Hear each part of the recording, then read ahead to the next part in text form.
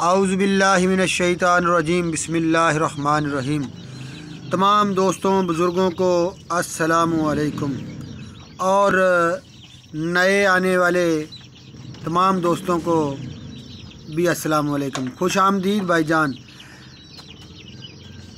और हमारी रिक्वेस्ट है कि अगर हमारी वीडियो अच्छी लगे तो एंड तक लाजमी देखना।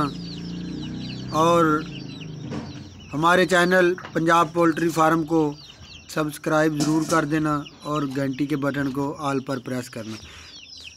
तो भाईजान, ये है हमारे पास छोटी नर्सरी, जिनमें हैवी बाफ, बंटन और असील चूज़े भी हैं, देसी भी हैं।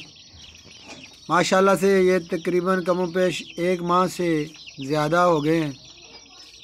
हम नए हैं, इसलिए हमारा तजर्बा थोड़ा कम है, जिसकी वजह से इनकी इतनी ग्रोथ नहीं है।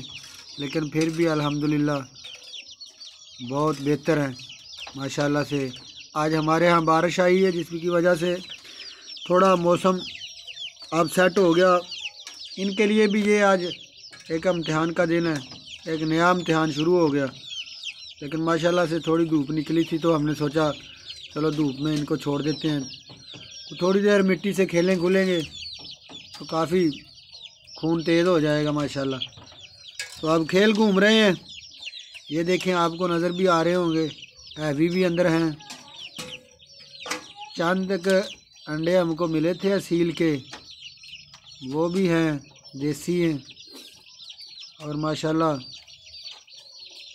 आपकी दुआओं की ज़रूरत है। हैवी बफ हमारे पास मंटन है। अजबाफ के तकरीबन हमारे पास दस चूज़े हैं।